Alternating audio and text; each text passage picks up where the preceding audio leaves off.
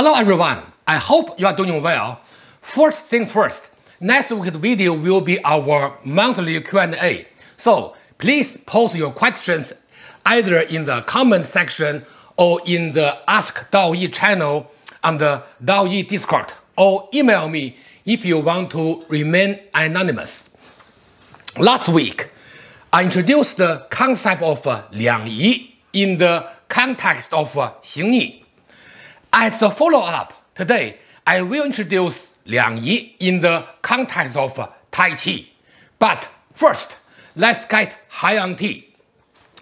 This week's tea is Jin Jun Mei, a very popular Hong Cha or red tea that has been gaining popularity in the last uh, 10 years. Jin Jun Mei is native to Wuyi Mountain, Fujian province.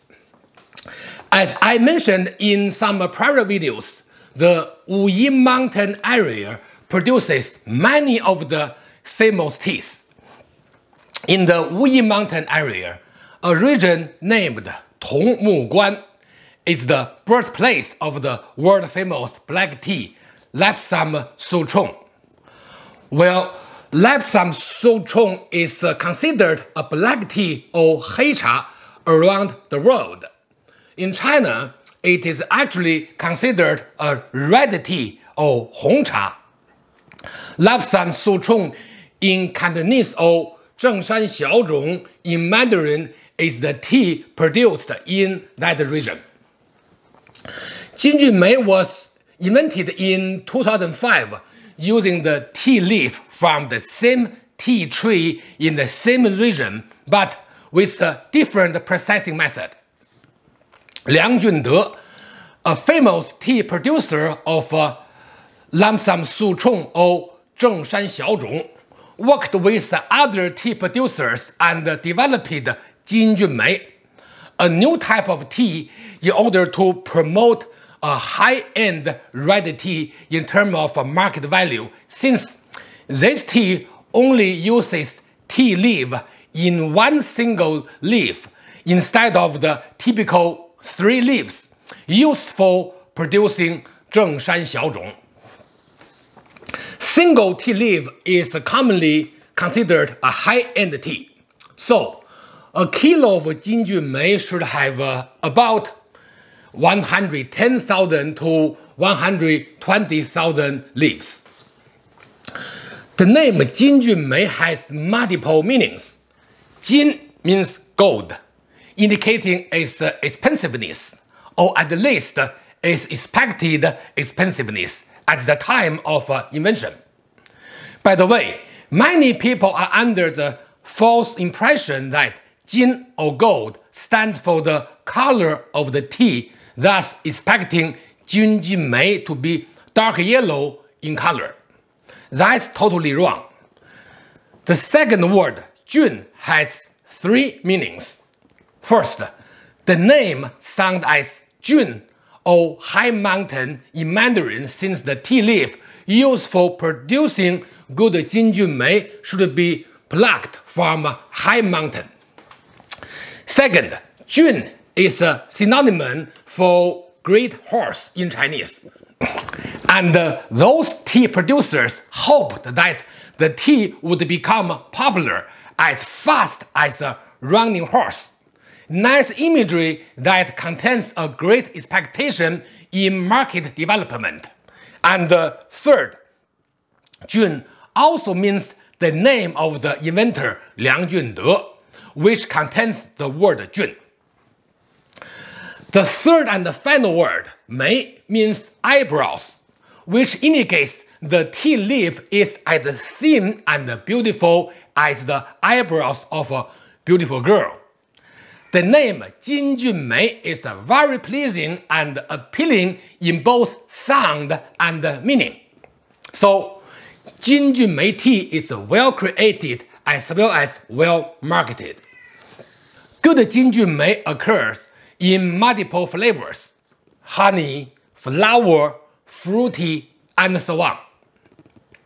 To brew Jinjun Mei, the water temperature should be 100 degrees Celsius. Some people say that the water temperature should be about 85 degrees Celsius, which is not ideal. Since the real Jinjunmei tea leaf is strong, the water temperature should be at least 95 degrees Celsius, and ideally at 100 degrees Celsius. If the tea is not of good quality, then a lower water temperature may be necessary. The quality of Jinjunmei leaves will also affect the brewing time. Some people say that it takes about 10 seconds to brew Jinjunmei, and some others even claim that it takes more than a minute to brew it. In my experience, brewing with 100 degrees Celsius water for 20 seconds is optimal for the first brew with brewing time increased by 5 seconds for every subsequent brew. So, water temperature and brewing time may vary based on the quality and the flavor of the tea leaves along with your personal preferences. I have a few type of Jinjunmei at home and I prefer this one. It's, this the tea leaf. The color of the tea decoction is dark orange. Drinking this leaves you with a very soft and uh, pleasant feeling that lasts longer compared to other teas.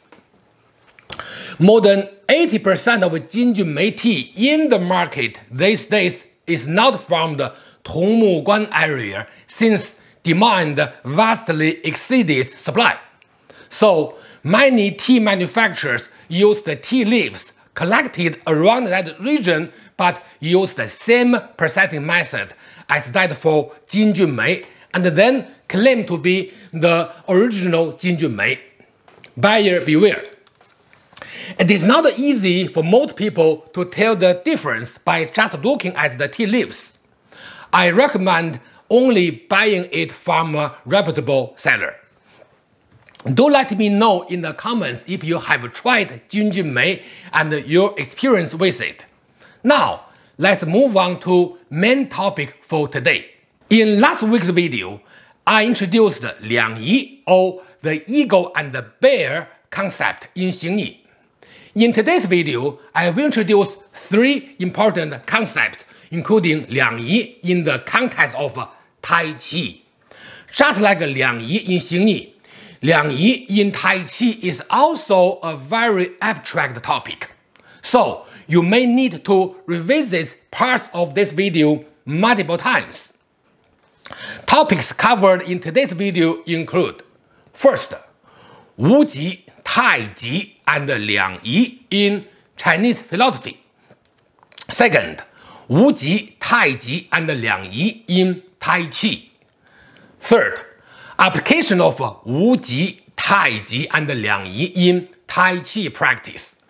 Fourth, principles of Wu Ji, Tai Ji, and Liang Yi in Tai Chi practice. Fifth, misperceptions. Sixth, demonstration. Seventh, correction of a student practice. Eight, takeaways. So, without any further ado, let's get started. Topic 1. Wu Ji, Tai Ji, and Liang Yi in Chinese philosophy. I have introduced all three terms in prior videos, especially in last week's video titled Internal Style Concepts 51, 形意 Two Principles, Liang Yi. I have uh, provided a detailed introduction to the concept of uh, Liang Yi. So, I recommend you watch it for the philosophical background of Liang Yi. Before going forward, let me first explain the term Tai Ji used in the title. Tai Ji is the Mandarin pronunciation of Tai Chi, since Qi is more of a Western way to say Ji. So Wu Ji and Tai Ji can be translated into Wu Qi and Tai Qi.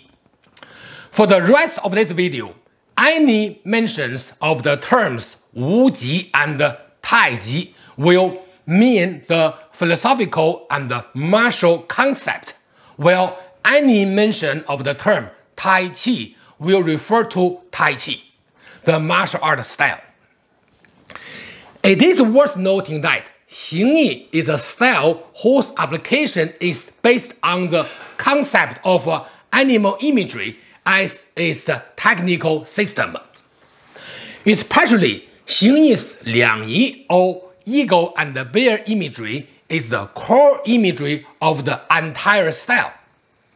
But Tai Chi uses no such animal movements based system for its technical practice. Any attempt to forcefully do so will violate the fundamental principle of Tai Chi. A popular legendary story about Zhang Sanfeng inventing Tai Chi after watching a fight between a snake and a crane was just that a legendary story and nothing more. Tai Chi practice has nothing to do with snake or crane. Please check out my video titled Internal Style Concept 45 Tai Chi Imagery, Tai He Yuan Qi, in which I have introduced the concept of uh, Tai Chi imagery. Since this video is not about Zhang Sanfeng, let's keep going with the main topic. In the interest of time, let's quickly recap the content relevant to today's topic from prior videos. Wu Ji, Tai Ji, and Liang Yi are terms and concepts used to describe the three states of being in the universe. Wu Ji represents an empty state but contains balanced, primitive, and unpolarized energy, while Liang Yi represents a state that is balanced, polarized energy. Tai Ji is the state between Wu Ji and Liang Yi, an important state that connects both together. In today's video, let's dive deeper into three important ancient Chinese philosophical terms to better understand their application in martial art practice. Wu Ji is the beginning state of Hun Dun. Hun Dun is the metaphor for the undifferentiated primal unity. In Liang Yi state, yin and yang, the pair of coexisting and opposite entities have separated, which is used to express the state of two opposite beings such as soft hard, cold hot, slow fast, negative positive, and so on. Taiji is the state at the end of Wu Ji and at the beginning of Liang Yi. Taiji is also the state that contains the yin-yang energy, but is unpolarized. So, Taiji is the specific state that connects Wu Ji and Liang Yi in the ancient Chinese philosophical context. Then, how is it applied in Tai Chi practice? That brings us to the next topic. Topic 2 Wu Ji, Tai Ji, and Liang Yi in Tai Chi. Understanding the original meaning of uh, these three philosophical terms will help you understand their theoretical applications to Tai Chi practice. Or else, a theory would simply remain a theory. To make it easier to remember, I call Wu Ji, Tai Ji, and Liang Yi as three-state theory. To the best of my knowledge, before Tai Chi became popular as the martial art style, the concept of Wu Ji, Tai Ji, and Liang Yi were not directly and systematically applied in martial practice. With time, some great Tai Chi practitioners, including Wang Zongyue, Chen Xin, Sun Lutang, and Yang Chengfu, among others, used these terms in their explanation of a Tai Chi practice. Comparing all of the written records of the three-state theory, Chen Xin's writing explained this concept best. Chen Xin gave Wu Ji another name, Da Dun, or Great Dun. As I translated in the prior part of this video, Da Dun is translated as Great undifferentiated primal unity.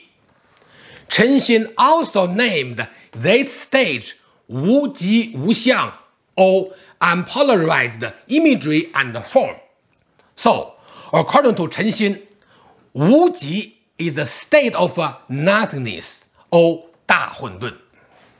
When preparing for Tai Chi practice, the stage of thinking of nothing but standing quietly without any intention, thought, or movement reflects the Wu Ji concept in Tai Chi practice. Chen Xin also used this illustration to express this practice. Pay attention to these two circles. One is the big circle that represents the universe, while the small circle in the stomach area represents the lower dantian, the small universe of the body. Now, let's talk about Tai Ji. According to Chen Xin, Tai Ji is the state akin to when a seed is ready to sprout, a state before the separation of the yin and the yang or the lightness rising upward and the heaviness sinking downward, and so on. More importantly, the Tai Ji concept in Tai Chi practice is the stage where our yin energy starts to move without physical movements, or our mind starts to focus on the right place, among other experiences. Chen Xin also used this illustration to express this practice. Last but not least, let's talk about Liang Yi. According to Chen Xin, all opposing qualities and actions such as opening, closing, softness and hardness, extension, contraction, forward, backward, and static dynamic all belong to yin yang or liang yi. So, according to Chen Xin, Tai Chi practice start from Wu Ji, then evolve to Tai Ji, and eventually to Liang Yi and others such as Si Xiang or four forms and Ba Gua or eight trigrams. By the way, Yang Chengfu, one of the great Yang style Tai Chi masters, said, quote, 不动为无极， 以动为太极。End quote. Translation: Without movement is 无极, while with movement is 太极. End translation. Here, movement is the mental activity and the subtle physical changes between the Tai Chi preparation form and the starting Tai Chi forms. Also, Wang Zongyue one of the earliest Tai Chi scholars in history, said, quote, 太极者，无极而生，动静之机，阴阳之母也。End quote. Translation: Ji is created by Wu Ji. Ji is the change between dynamic and static. It is also the mother of yin and yang. End translation. Yin and Yang is Liang Yi. So, according to Wang Zongyue, Wu Ji creates Tai Ji and Tai Ji creates Liang Yi. And his concept was directly borrowed from ancient Chinese philosophy and used implicitly to explain Tai Chi practice without direct correlation to Tai Chi practice. This is why I said in the beginning that Chen Xin's explanation is the best among others. So, how should you specifically apply Wuji, Taiji, and Liang Yi concept in Tai Chi practice? That brings us to the next topic. Topic 3. Application of Wuji, Taiji, and Liang Yi in Tai Chi practice. As mentioned in the prior part of this video, Wuji, Taiji, and Liang Yi are three states of energy both physically and mentally. Especially in martial art practice, it depends on the mental state when physical posture remains the same. Strictly speaking, according to Chen Xin's description, only the Wuji posture with the Wuji mind can be considered a Wuji state. However, in Tai Chi practice, as long as the posture becomes static both physically and mentally, it can be considered wuji. Since the mind and the body affect each other, mishandling one of them also adversely affects the other.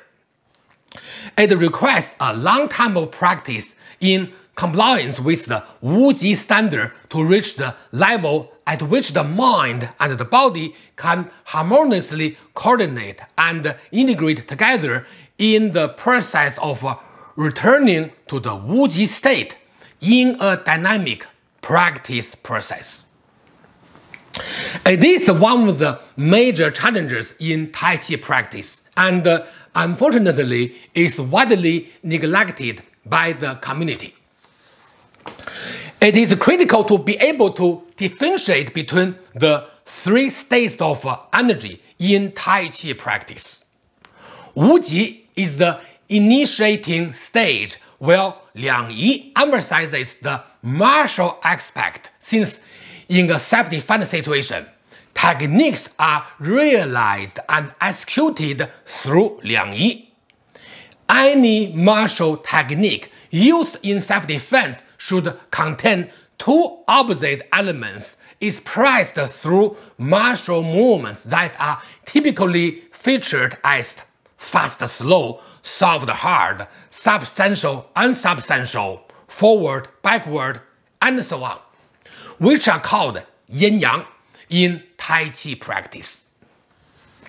And uh, Tai Ji is the key aspect between Wu Ji and Liang Yi, which means that a practitioner has to focus on Tai Ji training, the middle state between Wu Ji and Liang Yi.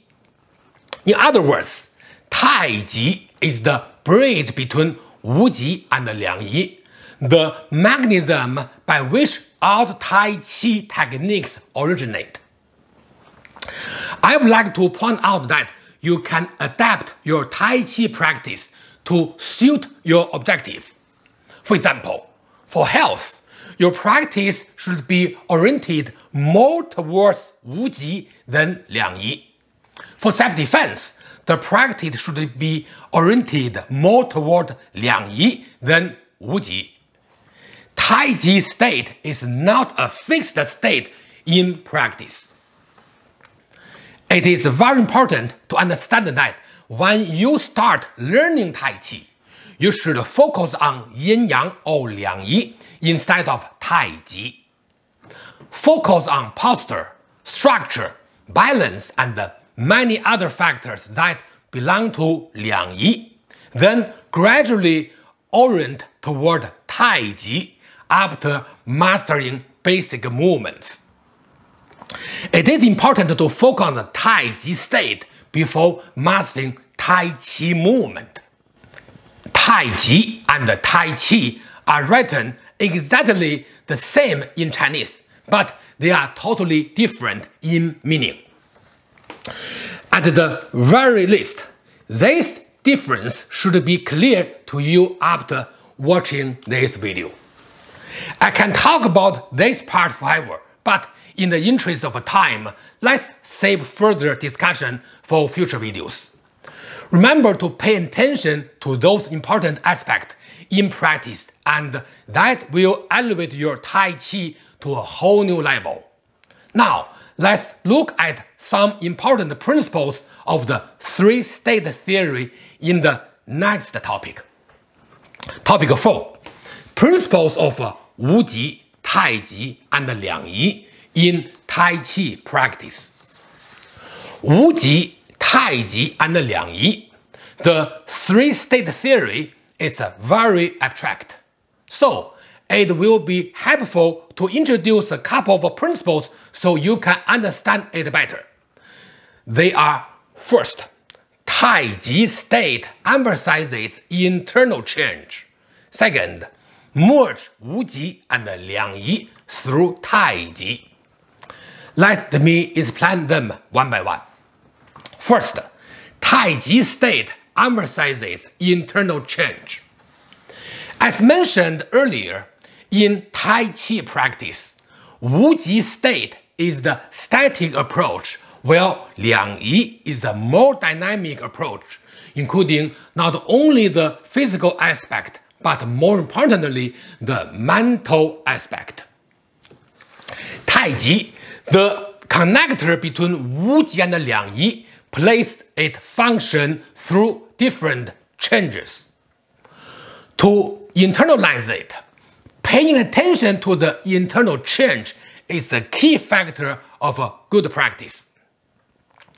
In the Tai Chi community, there's the famous proverb, Wai Shi An Yi, or externally expresses calmness and tranquility, effectively meaning that energy changes are executed internally in Taiji state practice.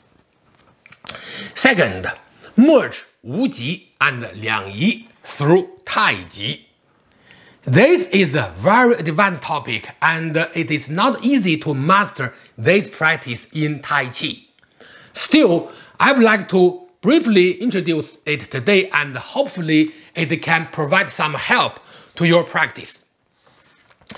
At an advanced level, the Taiji state should be extended toward both Wuji and Liangyi, as a result of which the Taiji state becomes the dominant one inside of an equal but mechanically division between the three states in Tai Chi practice. Subtle Tai Chi techniques are actually gained through this approach. So, merging them together as one is a great approach. There are many more relevant principles for the three-state theory which I will introduce in the future. Now, let's clarify an important misperceptions in the next topic. Topic 5. Misperceptions. You may get tired of hearing it, but I will never get tired of saying it because I can't emphasize it enough. Any concept, especially an abstract one, can easily get confused not only in practice but also at the theoretical level. And the three-state theory is no exception. A very common misperception is the claim that Tai Ji is everything. Let me clarify it. I have heard this expression, Tai Ji is everything, many times. With time, I figured out the reason behind this misperception. Yes, Tai Ji is a part of the three-state theory, but a part of the theory cannot replace the whole theory. I would like to say that without understanding Wu Wuji and Liang Yi, Tai Ji end up being nothing instead of everything. Lacking a specific term to analyze and differentiate each specific practical and theoretical aspect of Tai Chi practice is one of the important causes of this misperception. Without understanding the differences between these three terms, your practice would remain at either an external level or a mere health and relaxation exercise. Correcting and preventing this commonly occurring mistake is the main reason for me to make this video. Topic 6 Demonstration Today, I'd like to demonstrate the Wuji, Taiji, and Liang Yi practices through the Chen style Tai Chi preparation to part of the first form. Okay, now let him demonstrate how to practice the Wuji, Taiji to Liang Yi through the Tai Chi preparation form to the part of the first form.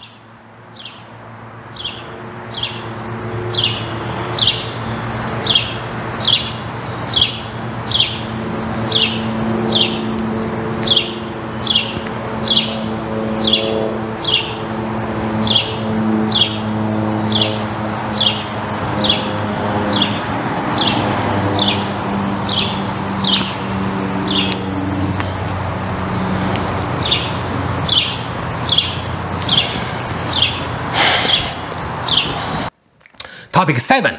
Correction of a student's practice.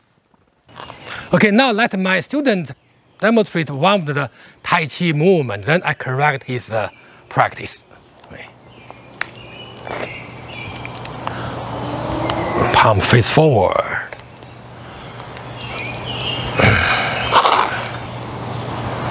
Yes, it's good. Continue. Okay.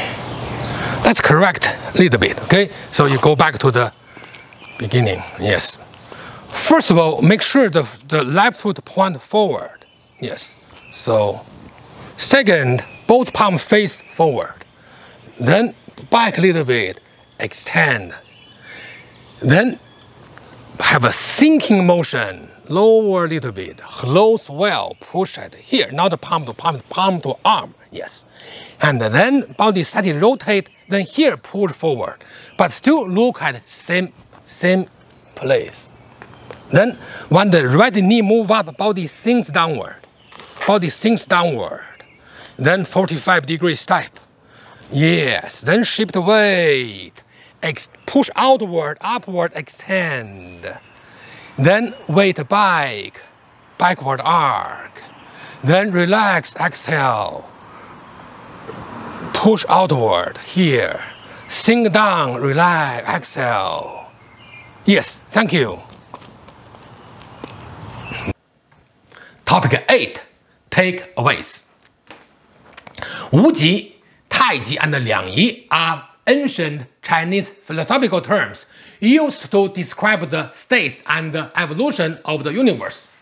Second, Wuji is the state of uh, nothingness. Taiji is the stage where our inner energy starts to move without physical movement, and Liang Yi is yin and yang, indicating all opposing qualities and actions involved in the practice. Third, application of Wuji, Taiji, and Liang Yi in Tai Chi practice requires harmoniously handling different aspects of practice so that Taiji state will play its role in Tai Chi practice. Fourth, two important principles related to the three-state theory are First, Taiji state emphasizes internal change. Second, merge Wuji and Liangyi through Taiji. Fifth, a very common misperception in the Tai Chi community is Taiji is everything. Remember to avoid this misperception in your practice. Make sure to check out the demonstration and the student correction section for a better understanding of the three-state theory. That brings us to the end of today's video. A quick reminder to send me your questions for the monthly Q&A next week. Thanks for watching, see you next time and enjoy your practice.